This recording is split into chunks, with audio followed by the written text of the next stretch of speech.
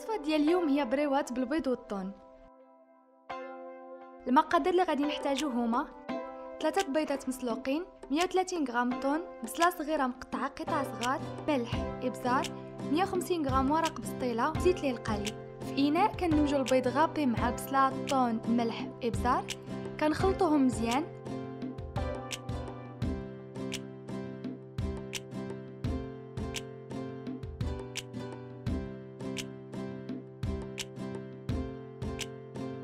ما قطعنا الورقة ديالنا لشرائط 6 سنتيمتر في العرض.